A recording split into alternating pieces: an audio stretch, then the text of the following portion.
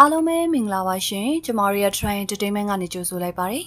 ကျမတို့ကိုတင်ဆက်ပေးမှာကတော့ဆောင်းပါရှင်မေစောရေးသားထားတဲ့ရခင်ကဆိုရိုစကားလေးတခုရှိခဲ့တယ်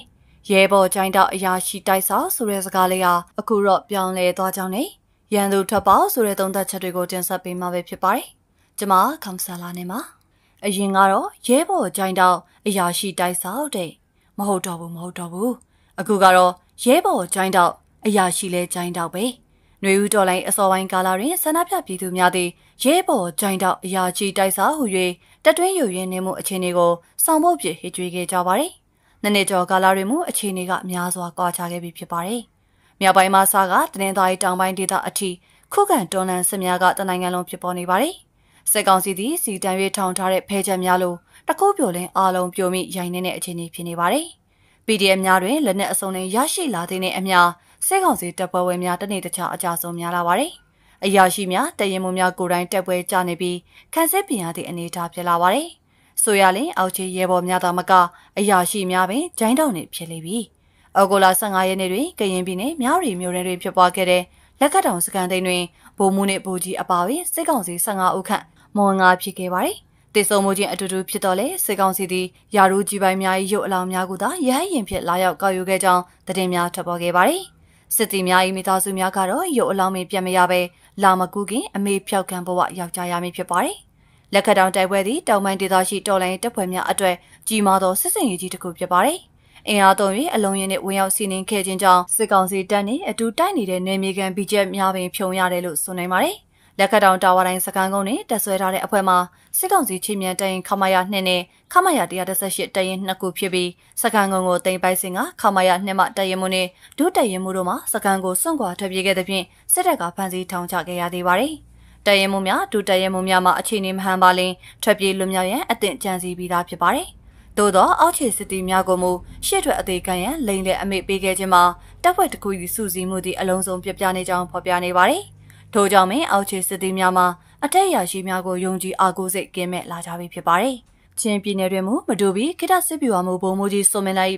ဖိနေခေါင်းမုံဖြတ်မှုများကိုမကျေနပ်သည့်အတွက်အောက်ခြေစစ်တီများသည့်ဗျူဟာမူကြီးခီးစဉ်ကို CDF မတူပီတန်ပေးပို့ခဲ့ကြောင်းသတင်းများထွက်ခဲ့ပါတယ်။ထို့ကြောင့်ဒေါ်လာရေးတပ်ဖွဲ့များကမေလ9ရက်ညနေ4နာရီအချိန်ခန့်တွင် မတူပီမြို့အပြန်လမ်းမှခြုံကိုတက်ခိုက်ခဲ့ရာချုပ်ကိုတက်ခိုက်ခံရပြီးရင်ပေါ်ပါဗျူဟာမူဒုဗိုလ်မှူးကြီးစုံမင်းလက်နှင့်အင်ဂျင်နီယာဗိုလ်ကြီးတို့သေဆုံးခဲ့ပါတယ်။ စစ်တပ်တွင်ရဲဘော်ရဲဘက်စိတ်ဓာတ်ကိုအခြေတီကတာဝန်များကိုပြီးမြောက်အောင်ဆောင်ရွက်ကြခြင်းဖြစ်ပါတယ်။အဓိကကြသောအုံမြင့်ဖြစ်သည့်ရဲဘော်ရဲဘက်စိတ်ဓာတ်မရှိရင်ညင်ညွတ်မှုမရှိနိုင်။ညင်ညွတ်မှုမရှိရင်စူစီးရန်ခက်ခဲပြီးအလွယ်တကူပြိုလဲပျက်စီးနိုင်ပါတယ်။ရှိတဲ့ရန်သူစီမှာပြစ်ခွင်သောကြည်လန်းကြောင်းသည်မြင်သာပြီးရှောင်လွယ်လို့ရပါတယ်။မိမိအသက်ကိုပေးရကယုံကြည်ထားသောရဲဘော်များကနောက်ကျောမှပြစ်ခတ်သွားလင်မှုဖြည့်စေမရှိ။ အချင်းချင်းဂုံတိုက်ဖိနှိပ်ခြင်းများအထက်ပါအောက်ပြီးစနစ်များသည့်စစ်ကောင်စီကိုတစားတစားပြိုလဲပျက်စီးစေခဲ့ပြီးဖြစ်ပါတယ်။ဒါကြောင့်ဆောင်းပါရှင်မောင်ဝီကစစ်တပ်ဆိုတာအမှန်တကယ်သာလိုက်နာနိုင်ခဲ့ရင်ဆိုတဲ့ဆောင်းပါလေးမှာအခုလိုဖွင့်ဆိုပြထားပါတယ်။ငါသားများစစ်ထဲဝင်ရင်လေ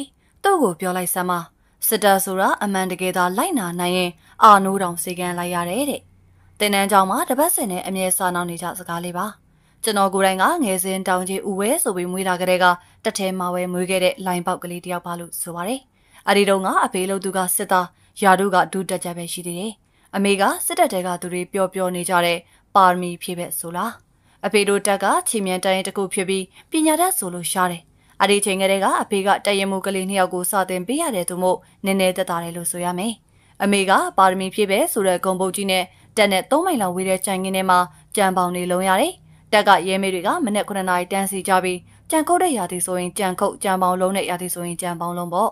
ကြံပေါင်းလုံးနဲ့အချိန်ဆိုရင်ကလေးတွေကိုတနေရာမှာစုထားပြီးရဲမေတယောက်ကစုတင်ရတယ်ငိုတဲ့ကလေးကငိုအော်တဲ့ကလေးကအော်ပေါ့မနေ့10နာရီလောက်ဆိုရင်နေကစားပူပြီ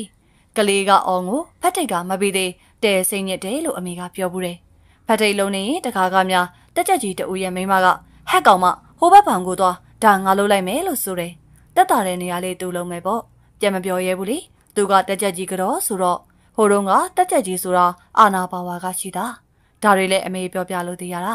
တခါသာတရင်မှုကတော့ဦးစီးတဲ့တာဘောမှာတရင်မှုကတော့ကရဲမေတွေကိုပါထိတ်တမိန်တထဲစီဝေးမယ်လို့ဆိုရဲတဲ့ထမိန်ဝေကနေဘာပြောတယ်လဲဆိုတော့ဟက်ကောင်မတွေညီတို့ဒါမျိုးဝေပူလားလို့ထောင်ပြတယ်ဆိုတာမျိုးရှိသည်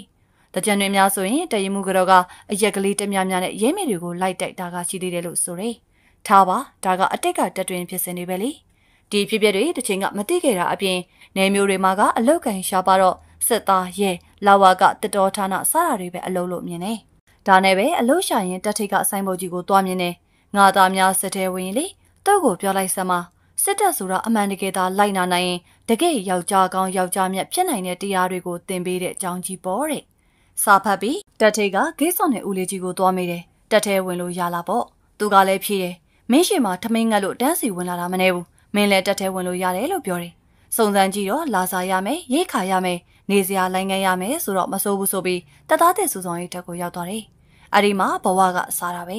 စူဆောင်ရေးတက်မှာညဆိုရင်ထွက်ပြေးမှဆိုလို့တသားတက်တင်နေတဲ့ဘားတိုက်ကိုတော့ခတ်ထားတယ်မစင်ပုံသေးပုံထားပြီးတယ်ပြန်လဲမပြောရဲဘူးစူဆောင်ရေးရောက်ကလေးကအကျေကျုံနဲ့ပုံစံမှာအပေးခံထားရတယ်။တိုးပေမဲ့ရေတက်နဲ့လေတက်ကတော့အခုတက်ပို့ပြီးတက်တာတယ်လို့သိရတယ်။စူဆောင်ရေးကတဆင်စစ်အခြေခံလေ့ကျင့်ကိုရောက်တော့ တည်တင်တိတိုက်တာတွေကိုသင်ပြပေးတယ်။အဓိကသင်ပေးတာကတော့မြက်ပေါင်နီအရာရှိနီးပြဆရာတွေအိမ်တန့်ရှင်းရေးလုပ်နေတယ်ပေါ့။အတန်းပညာရှိသူတွေကတော့တက်ခွဲယုံစီကျူယုံအဆောင်မှုတက်ဆူမှုတက်ခွဲမှုစသဖြင့်နေရရတယ်။သူတို့ကြတော့တခြားသူတွေထက်ညနေဆိုရင်ရေဝအောင်ချိုရတယ်။တနန်းသားချင်းအုပ်ချိုရတယ်။နေပြဆရာတွေရဲ့လက်ဆွဲလို့ဆိုရမယ်။စေချေကန်တနန်းကျောင်းတွေမှာဘာတွေအဓိကဘာလုပ်ကြသလဲဆိုတော့တနန်းကျောင်းနဲ့မိုင်30လောက်ဝေးတဲ့တော်တွေကနေမျောတုံးတွေဝါးတွေခိုးရတယ်။ပြီးရင်တက်ကိုတဲလာရတယ်။ တက်ဆူလေးစုတက်ခွဲတက်ခွဲလူ120တယောက်ကိုဝလုံးငါလုံးမိုင်30လောက်လမ်းလျှောက်ပြီးတဲလာရတယ်။ရလာတဲ့ရာနဲ့ချီတဲ့ဝါးတွေကိုနီးပြဆရာတွေကရောင်းစားကြတယ်။ကြွေတော်မွေးတာကတော့တရင်မှုကျောင်းကြီးတွေလာစစ်တဲ့အချိန်တော့စီပြန်ရင်တစ်ခွက်ကောင်းကောင်းစားရမယ်။ကြံတဲ့အချိန်တော့ဝက်မစားငချောက်တို့ခွေမစားငချောက်တို့စားရမယ်။ကြုံသလိုပေါ့လေ။ဒီနေရာမှာပြောပြချင်တာကဝက်မစားငချောက်ခွေမစားငချောက်ဆိုတာတက်ထဲမှာမွေးထားတဲ့ဝက်တွေခွေးတွေဆိုတာဘာကြွေးကြွေးစားတတ်တဲ့အစုံစားတော်ဝါအစတွေပါ။ တလူအကောင်းတွေတောင်တနန်းသားတွေကိုကျွေးတဲ့ငချောက်ရင်ကိုချကျွေးမစားကြပါဘူး။ပြောရရင်တနန်းသားတစ်ပတ်စင်စင်တက်ခွဲမှုဘူကြီးတွေချမ်းသာပြီးနီးပြစရာတွေငွေရှင်နေ။ဒါလို့နဲ့စက်သားဖြစ်တဲ့တနန်းစင်လာကြတယ်။စက်သားဆိုတာအသားမဲရမယ်၊သွားကြရမယ်ဆိုတဲ့ဆောင်ဖို့အတိုင်းတရင်တစ်ခွက်တွေကိုသွားမယ်ဆိုတော့လူကအသားမဲနေပြီ။မျက်ပေါက်စွမ်းရည်ကလည်းပြေဝနေပြီပဲဖြစ်တယ်။တနန်စည်းကနေဆရာဖြစ်သူကမှားလိုက်တယ်။စစ်သားကတိုင်းပြည်ပြန်ရင်တောင်မိုးမခေါင်ဘူးလို့အမှားတော်ပါလိုက်တယ်။ဆိုလိုချင်တာကတော့စစ်သားဆိုတာ တိုင်းပြည်ပြန်ရင်တောင်ထမင်းမငတ်ဘူးလို့ဆိုချင်တာပါ။တက်ကိုရောက်တော့အခြေခံတက်သားလာစာတသိန်း6000ရတယ်။ဥပိုင်ကတလ1000ဖြတ်တယ်။အသက်အမကန်ကြီးကတလ8000ဘန်စုငွေကတလ3000မဖြစ်မနေဆိုကြရတယ်။လာစဉ်တမတော်စာစဉ်သတင်းစာကြီး9000လောက်ဖြတ်တယ်။ဟိုဖြတ်တီးဖြတ်နဲ့လာစာကတသိန်းပဲကျန်တယ်။အခြေခံစားသောက်ကုန်ကစံတအိတ်တင်8000ရှိတယ်။မိသားစုတစုကဒီလစာနဲ့ဘယ်လိုစားသောက်ကြရမလဲ။ခိုင်နာကတော့စစ်အခြေခံတင်တန်းကတင်ပေးသလိုပဲမနေ့ကနေညထိမနာရအောင်ခိုင်းနေ။ စနေနေ့လိုရမျိုးတိုင်းလူမှုဝန်ထမ်းခေါင်းစဉ်နဲ့ဖတ်တိတ်ကလုပ်ရသည်။ကိုတင်မဲလားဆိုတော့ကျုံဝဲရအစ်စ်ပါဇနီးဖြစ်သူပါမျက်နှာငငယ်နဲ့အောက်ခြေသိမ်းဖတ်တိတ်လုပ်ရတယ်။ဖြစ်ချင်တာကတော့ Standard Army ဖြစ်နေတာကဗယံပတာ။တချိန်ကအဖေတို့ခေတ်ကစစ်တပ်နဲ့ဘာမှမထူပဲပိုးတောင်ရင်ရင်လာသေးတယ်။ပြောချင်တာကအခုချိန်ဆိုရင်စစ်တပ်အနေနဲ့ကြာဆုံးထွက်ပြေးစားတဲ့ပြုံတီအင်အားတွေကြောင့်အတော့ကိုဆူရတဲ့အခြေအနေတွေမှာရှိနေပါတယ်။ ဒီလိုအခြေအနေမှာလူအင်အားလိုတဲ့အတွက်စစ်တပ်သူတွေဆိုရင်အသက်တနစ်ပိုတိုးခေါ်တာမျိုးတွေစစ်တပ်တဲ့လိမ့်လေခေါ်ယူတာမျိုးတွေရှိလာပြီ။အရေးချင်းတဲ့အရေးအတွက်ကိုပိုဦးစားပေးလာကြတယ်။အခုဆိုရင်စစ်သားတွေရဲ့ပင်စင်ကိုအသက်62နှစ်ထိတိုးထားကြပြီးကြားရတဲ့တပ်တွင်သတင်းတွေရဆိုရင်အသက်64နှစ်ထိထပ်တိုးဖို့အစီအစဉ်နေလို့ဆိုရယ်။တန်ရလိုအပ်ချက်အရာတပ်လော်ဘီတွေကဖွာကြတယ်။စစ်တပ်ကဘလို့ကောင်းကြောင်းလာစာရိတ်ခါကဘလို့ရကြောင်းနေပေါ့ တက်သေးဝင်မလားဆိုရင်တက်ချစ်သူမိုးဟိန်ဒဇင်ဦးအောင်မင်းကျော်မျိုးမင်းတို့အနားတောင်တီးမယ်မထင်ဒီတော့စစ်တပ်တဲ့ဝင်မဲ့သူတွေအနေနဲ့ရှီမှာကိုတွေများစွာကိုဘဝနဲ့ယဉ်ပြီးတက်သေးပြထားပြီးဖြစ်တယ်ဒါကြောင့်စစ်တပ်တဲ့ကဆူရတဲ့ခါသီးမှုတွေကိုသိရှိနိုင်မှုနဲ့စစ်တပ်ဆိုတာခိုင်တိုင်းလှုပ်လိုက်ရင်အာနိုးတောင်စီကံလိုက်ရတယ်ဆိုတာအသိပေးလိုက်ရပါတယ်လို့စီဒီယန်တမတော်သားမောင်ဝေးကအခုလိုမျှဝေပေးထားပါတယ်။ဆက်လက်ပြီးဆရာမင်းတင်ရေးသားထားတဲ့ရန်သူထွက်ပေါက်ဆိုတဲ့ဆောင်းပါးလေးကိုတင်ဆက်ပေးပါရစေရှင်။ ရန်သူထွက်ပေါက်40လူသည့်တက်ပိုး၍တက်ဆန်ထားတဲ့ရုံငန်းကျဲကြီးဖြစ်လင်ကစားခေါင်းဆောင်ကြီးနဘူးပြင်းသည်ချွေဆိုလျက်ရှိ၏။လူမြင်ကွင်းသို့မကြာခဏလူလုံးထွက်ပြနေကြဖြစ်၍အမြဲတစေလူလိုတည်သက်ကြနာစွာဖိသက်ထားသောသူစပင်တို့သည်အနှဲငယ်ဖွာနေသည်အောင်ထင်ရသည်။အေဒီကိုသတိထားမိသောသူ့အိမ်တော်ပါအရာရှိကဘီရိုတစ်ချောင်းကိုခေါင်းဆောင်ကြီးဇွဲတောင်စုသို့မတိမတာလာချပေး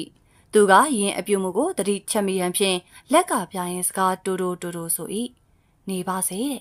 ခေါင်းဆောင်ကြီးကာလိုက်သောလက်သည်အတန်ငယ်တုံရင်းနေ၏သူသည်အိမ်ဒီမပြဲဖက်လက်စာစာဖိုင်များကိုသာတည့်ရချင်းလမ်းဖက်ရင်တုံလုံးနေသောသူစိတ်ကိုကြိုးစား၍ထိန်းနေသည်မှာတည်သားလာသည်သူကိုကြည်ရသည်မှာလောကကြီးနှင့်အဆက်ပြက်လျက်အိမ်မက်ထဲတွင်လမ်းလျှောက်နေသူနှင့်တူလာသည်အတန်ငယ်ကြမှာတတိပြောင်းဝင်လာဟန်ဖြင့်ငါခေါ်ထားတဲ့သူတွေစုံပြီလားလွန်ခဲ့တဲ့တနားရီကျော်ကလေးကလူအလုံးစုံကြပါပြီခေါင်းဆောင်ကြီးဒါဆိုအလုံးကိုဝင်ခံလိုက် အိမ်တော်ဘာရရှိသည့်ရုံငန်းတကားကိုရှောက်သွားပြီးအခန့်တကယ်မကြီးကိုအသားရဖွင့်လိုက်သည်ဝင်လာခဲ့ကြပါဟုသောအတိတ်ပဲဖြင့်လက်ရက်ပြလိုက်သည်တွင်ရင်မက်နှင့်ပကုံတို့၌အဆင့်မြင့်ဆုံးတစိမ့်များတက်ဆင်ထားသူစစ်ကောင်ဆောင်20ခန့်တို့ကျိုးနုံသောအမူအရာကိုစီးဖြင့်ဝင်လာကြ၏သူတို့အားလုံးသည်ခုံများတွေမထိုင်ကြဘဲခေါင်းဆောင်ကြီးအေယာမဘဲဥပုံစပွဲဝိုင်းကြီးတွင်မတ်တက်ရက်လျက်အသင့်နေထားတွင်ရှိနေကြသည်ဆိုရင်ထိလန်နေသည့်စိတ်ကိုကြိုးစား၍ထိနေသည့်အမူအရာသည်သူတို့မျက်နှာတွင်အထင်သာပေါ်လွင်လျက်ရှိ၏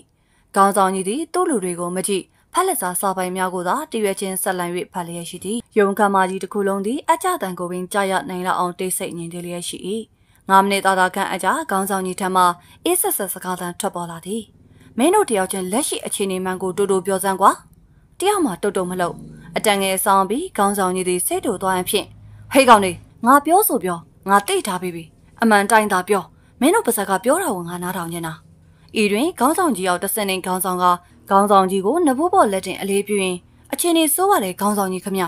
ဆက်ပြောသူတို့နေပြည်တော်ရဲ့မိုင်30လောက်နားထိရောက်လာကြပါပြီနေနေညညအချိန်မျိုးနေပြည်တော်ကိုထိုးပေါက်လာနိုင်ပါတယ်အထူးသဖြင့်သူတို့ရဲ့အစစ်မြဒရုန်းတွေရဲ့ရန်ကကာကွယ်ဖို့ခက်ပါတယ်ခင်ဗျမင်းတော့နောက်တစ်ယောက်ပြောထို့သောဖြင့်တယောက်ပြီးတယောက်ဆက်လက်တင်ပြကြသည်အတွင်စည်းတွေကထိတ်တန်ခေါင်းဆောင်တော်တော်များများကိုဖမ်းပြီးအရေးယူတာဖြုတ်ပြီးအစာထိုးတာလည်းအတော်များနေပါပြီခေါင်းဆောင်ကြီး တရင်မှုအဆင့်အတော်များများလည်းအမိတ်ဖီဆန်နေကြတဲ့အနေအထားကိုရောက်နေပါပြီရင်ဆိုင်တိုက်ပွဲတန်းလူလိုအရေးနေနေပါတယ်ခေါင်းဆောင်ကြီးအကြဆုံးများလုံးလို့တက်တွင်စီလုံးညညရေးကိုအကြီးကျယ်ချင်းချောက်နေပါပြီထူဆန်လွန်ဒီမှာခေါင်းဆောင်ကြီးသည်ခါတိုင်းကဲ့သို့ဒေါသတကြီးမတုံပြန်မဲ့သူကောင်ကသပင်ကိုသာမသိမတာပုတ်တက်လှန်တရင်နားဆိုင်ထောင်းနေခြင်းဖြစ်၏နိုင်ငံသားငွေပြက်လူနေနေဖြစ်နေတဲ့အပြင်အထက်ကအားထားနေရတဲ့လေတပ်73စီးကလည်းပြက်ခတ်နေနေပါပြီခေါင်းဆောင်ကြီး maintenance မလုပ်ဘဲဒီတိုင်းလေးရင်တွေကိုဆက်သုံးရင်မကြခင်ပြဿနာကြီးလာပါတော့မယ် ငွေဆက်ကိုအသေးရိုက်ထုတ်လိုက်တဲ့နောက်ဆက်တွဲကြရကြောင်းပြည်တွင်စားသောက်ကုန်ကုန်စည်နှုန်းတွေအဆမတန်တက်လာနေတာရဲ့လျှက်စစ်ပြတ်တောက်ချိန်များတာရဲ့ကြောင့်လူတို့ထောက်ခံမှုအကြီးကျယ်ကျဆင်းနေပါပြီ။ဆက်လက်တင်ပြချက်အလုံးလူလိုသည်စိတ်ပြက်ပွဲအတိဖြစ်တကန်လုံးသည်ခြောက်ချဝယ်ကောင်းလောက်အောင်ပြန်၍တိတ်ဆိတ်သွားပြန်သည်။ထိုစဉ်မတ်တရလျက်ရှိနေသောစစ်ကောင်းဆောင်များအတွင်မှတစုံတယောက်၏ပြက်သားကျဲလောင်သောအတန်ထွက်ပေါ်လာသည်။ကျွန်တော်ကိုတင်ပြခွင့်ပြုပါကောင်းဆောင်ကြီး။ထို့သူသည်ကောင်းဆောင်ကြီးထက်ကောအခြားစစ်ကောင်းဆောင်တို့ထက်ပါ တိတိတသာအသက်ကြီးမှန်တကောင်လုံးဆွတ်ဆွတ်ဖြူနေတဲ့သူ့စပင်တို့ကြောင့်ဒေသ၏သူ့အသက်80ကျော်ခဲ့ပြီသူသည်စီရေးနိုင်ငံ၏အတွေ့အကြုံကြီးသူနှုံနေသူအတွေးနဲ့သူချင်းချင်းဝေဖန်တတ်သူအဖြစ်ဂုဏ်သတင်းရှိသည်ထို့ကြောင့်သူသည်စစ်ဘက်ထိပ်တန်းခေါင်းဆောင်တို့အကြတမှုထူသဖြင့်ခေါင်းဆောင်ကြီးကအထူးချွင်းချက်ဖြင့်ထိပ်တန်းချန်ပီအဖြစ်တက်တော်ရှိရာတို့ပေးထားခံရသူဖြစ်သည်ကျန်တဲ့ကောင်တွေအလုံးထွက်သူအိမ်တော်ပါကိုရဲ့အရာရှိကိုပါလက်ညှိုးထိုးလျက်ဟဲ့အောင်မင်းမထွက် တို့ပြင်ခေါင်းဆောင်ကြီးနဲ့ခေါင်းဖြူကြီးတို့နှစ်ဦးတည်းကြံရည်တော့အခါမှာခေါင်းဆောင်ကြီးကမေးသည်ဆရာကြီးပြောချင်တာပြောပါကျွန်တော်ခွင့်ပြုပါတယ်ဒီလိုပါခေါင်းဆောင်ကြီးခေါင်းဆောင်ကြီးကိုအကယ်ခတ်ရတာအလွန်စိုးရိမ်နေပုံရပါတယ်ဒီလောက်လဲစိုးရိမ်မှုမလိုပါဘူးနီလန်းရှိပါတယ်ပြောပါဆရာကြီးဒီလိုပါခေါင်းဆောင်ကြီးကျွန်တော်တို့အဖက်ဖက်ကအရေးနေနေတာမှန်ပါတယ်ဒါကြောင့်ကျွန်တော်တို့ထိုးစစ်အလုံးကိုမသိမသာရှော့ချရပါမယ်ဟန်ပြထိုးစစ်တော့ရှိရပါမယ်ခံစစ်ကိုသာအတက်နိုင်ဆုံးအချိန်ရနိုင်သမျှဆွဲထားဖို့သာလိုပါတယ် ဒါဟာမဟာဖြူရပါပဲဆရာကြီးအတွေးတွေကပြတ်သားလာကြည်လားဗျဘာကြောင့်များပါလဲကျွန်တော်တို့လူမျိုးအကြောင်းကိုကျွန်တော်ကောင်းကောင်းနောကြည့်ပါတယ်ခေါင်းဆောင်ကြီးရန်သူအင်အားစုတွေကအောင်မြင်ကနီးလေးလေးအာနာနဲ့လောပိုင်ခွင့်တွေအတွက်စိတ်ဝမ်းကွဲလေးလေးပါပဲဒါဟာကျွန်တော်တို့လူမျိုးရဲ့စရိုက်ပါကျွန်တော်တို့အချိန်ဆွဲထားနိုင်နေလေသူတို့အကွဲပြဲပူကြီးလာလေးလေးပါပဲ ဒါဟာကျွန်တော်တို့မတိုက်ပဲနိုင်မဲ့နီးပြူဟာလို့လည်းပြောလို့ရပါတယ်ခေါင်းဆောင်ကြီးသည်ဝင်းလက်တောက်ပါသောမျက်နှာဖြင့်ထိုင်အားမှရုပ်ချင်းထားကဆရာကြီးဆိုသူနှင့်ယဉ်ချင်းအ၍ဝမ်းမြောက်ဝမ်းသာစကားဆိုသည်ကျေးဇူးကြီးလိုက်တာဆရာကြီးရဲ့အပြင်ကစောင့်နေတဲ့ကောင်းတွေကိုလည်းဆရာကြီးပြန်ပြောပြလိုက်ပါဦးအကယ်၍သင်သည်အထက်ပါဖြစ်စဉ်အစဆုံးကိုမြင်နေကြားနေသူဖြစ်ညာအပ်